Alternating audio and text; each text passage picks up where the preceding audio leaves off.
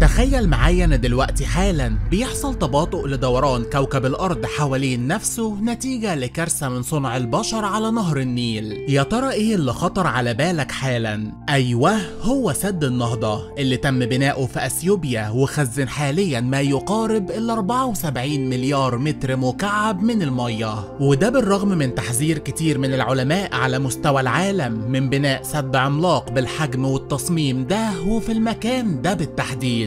أنا عايز أقولك إن اليوم حاليا أصبح أطول من اليوم الطبيعي قبل بناء سد النهضة وده نتيجة لتباطؤ غريب تم رصده بالفعل من مجرد أيام قليلة باستخدام الأقمار الصناعية حوالين الأرض. فأخطار السد تخطت مجرد الفيضانات العملاقة اللي بتهدد مصر والسودان نتيجة لتشققات ممكن تنتج من أنشطة زلزالية في المستقبل وامتد الخطر لتلاعب في طبيعة كوكب الأرض بالكامل وبالتالي التأثير على العالم كله بشكل غريب ومريب. فأثيوبيا أتمت الملء الرابع والأخير لسد النهضة العملاق من مجرد أيام قليلة. وبالتالي تحول السد الجديد لقنبلة موقوتة في القارة الأفريقية ودول المصب بشكل خاص. بالإضافة للعالم أجمع في حالة انهيار السد أو حتى تشغيله بسعته العملاقة من المية المختزنة. لكن للأسف الموضوع ما وقفش لحد هنا وبس لأن تم الإعلان رسميا عن توقف كل النقاشات السلمية والسياسية تماما بخصوص السد واللي بدوره قد يسمح بالتدخل العسكري اللي قد يهدد سلامة هيكل سد النهضة. وبالتالي حدوث كل السيناريوهات اللي توقعها العلماء من وقت الإعلان عن بداية العمل على المشروع من عشر سنين كاملة. فالمشاهد الحية والحقيقية اللي هتشوفها حالا هتثبت لك ولأول مرة إننا بالفعل في مواجهة مشكلة مرعبة هي الأسوأ في تاريخ قارة أفريقيا والعالم بالكامل واللي قد تكرر نفس السيناريو لغرق مدينة درنا في ليبيا من جديد لكن في مصر والسودان خلال الأيام القادمة وكل ده وأكتر هنعرفه مع بعض النهارده. أهلا بيكم أنا محمود حجاب.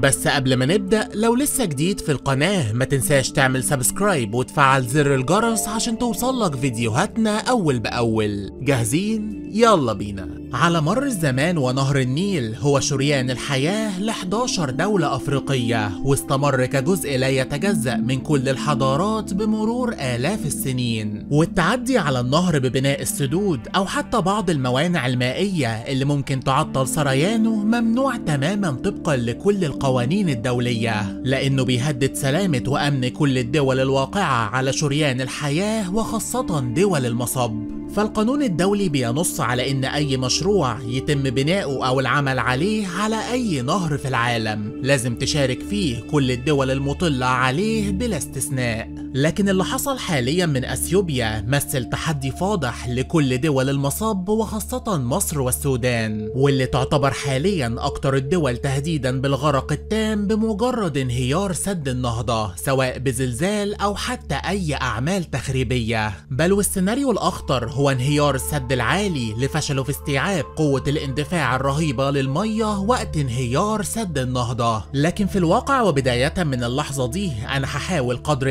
الإمكان إني ما خوفكش من فكرة انهيار السد لأنها بالفعل واردة واتكلم عنها الكتير قبل كده. لكن هكلمك من زاوية تانية خالص يمكن أخطر من انهيار سد النهضة بآلاف المرات. وعشان كده عايزك تركز معايا بداية من دلوقتي لأنك حرفيا هتسمع تسمع الكلام ده لأول مرة. فسد النهضة هو السد الأكبر والأعظم في قارة أفريقيا والعاشر على مستوى العالم وبيقع على النيل الأزرق قبل حدود السودان بحوالي 15 كيلو متر تقريبا. وفكرة عمل السد بمنتهى البساطة واللي تم اختيار مكانه بمنتهى الدقة بين جبلين كحاجز طبيعي للمية. بأن السد تم بناؤه وتصميمه من خرسانة وحجارة من نوع خاص ومميز قادر على حجز وتخزين المية القادمة من مصب النيل في الجنوب في ناحية من السد. أما الناحية التانية من السد فهي اللي بيكون فيها الشغل كله بسقوط للمية من ارتفاعات شاهقة بتوصل لعشرات الأمتار وكل ده بتأثير قوة الجاذبية. وبالتالي وقت سقوط المية من الارتفاع الرهيب ده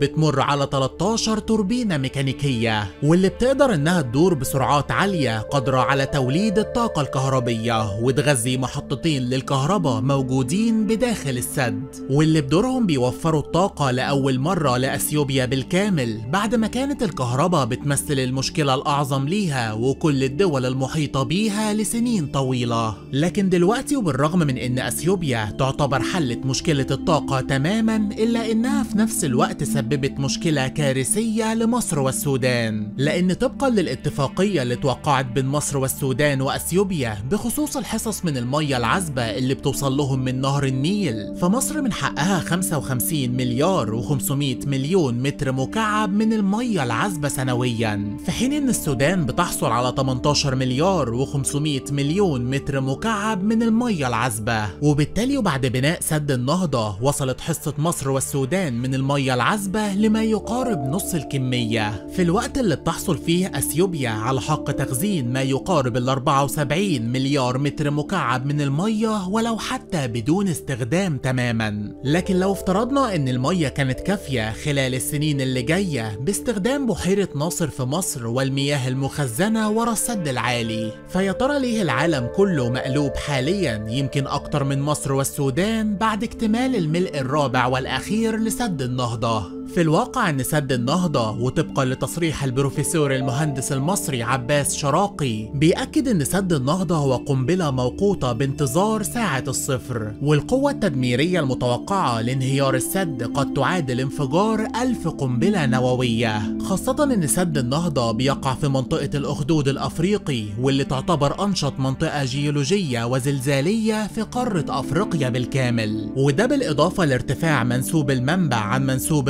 المصب بحوالي 4000 متر تقريبا وبالتالي اندفاع مرعب للمية خلال النهر خاصة وقت الفيضانات العملاقة. واللي هيكون قادر على تحريك آلاف الأطنان من الطمي بقوته التصادمية اللي تقدر تهدم أقوى السدود خلال مجرد أسابيع من تراكمها عليه بشكل متكرر. فالخبير المصري عباس شراقي قال بالحرف الواحد اللي هتسمعه حالا سد النهضة من أشد السدود خطورة على حياة الإنسان. وهو دخل بالفعل دايرة الخطر الكارثي على كل من مصر والسودان. وده لأن التصميم الأصلي لسد النهضة واللي صممه خبراء ومهندسين من الولايات المتحدة الأمريكية. كان بينص على أن السعة التخزينية للسد لا يجب أن تزيد عن 11 مليار متر مكعب من المية إلا أن تم عمل تعديلات سرية على السد بطول بيوصل ل 1700 متر وسعة تخزينية تقدر ب 74 مليار متر مكعب من المية العذبة.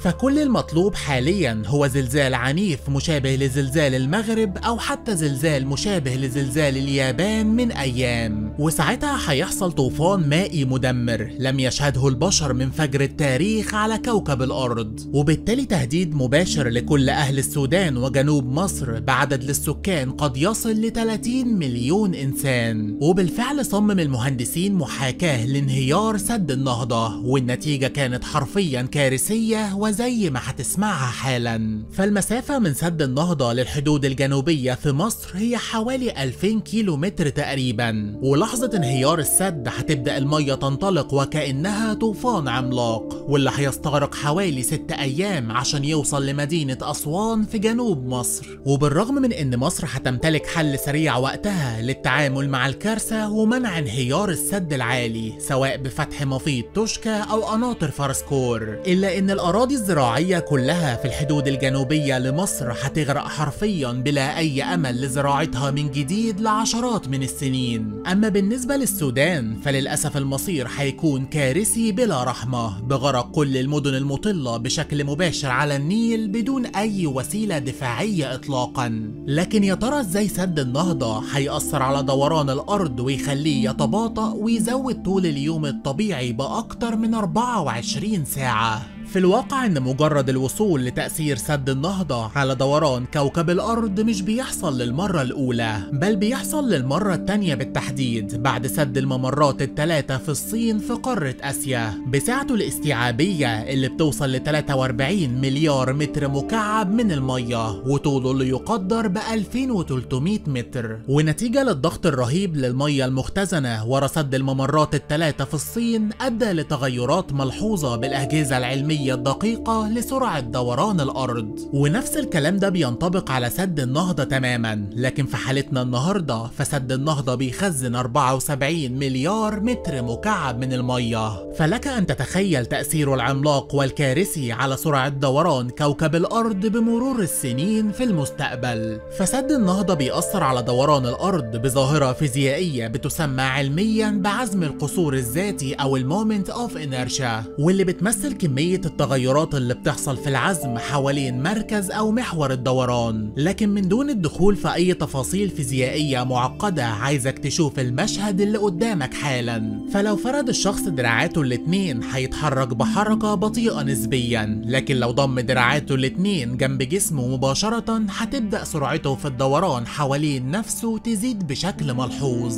وده لأن كل ما مساحة الكتلة لجسم ما تصغر بتزيد سرعة دورانه حوالين نفسه. وكل ما تزيد تقل سرعة الدوران. وبما إن سد النهضة ممتد لحوالي 1700 متر تقريبا فمعنى كده إن مساحة الكتلة بتكون كبيرة جدا لدرجة إنها بتأثر بشكل مباشر على دوران كوكب الأرض بالكامل. واللي قد يصل في المستقبل لتغيير شامل في كل ساعات الأرض والأقمار الصناعية حوالين الكوكب. لكن لحسن الحظ الكلام ده عشان يحصل فهيحتاج لعشرات من السنين. واللي أعتقد إن السد وقتها هيكون توقف تماما وخرج عن الخدمة. لكن السؤال دلوقتي يا ترى بعد كل اللي سمعته النهاردة هل تعتقد إن تكرار بناء البشر للسدود العملاقة قد يكون سبب مباشر في توقف دوران الأرض تماما ونهاية الحياة على الكوكب بالفعل؟ مستني اعرف رأيكم في الكومنتات.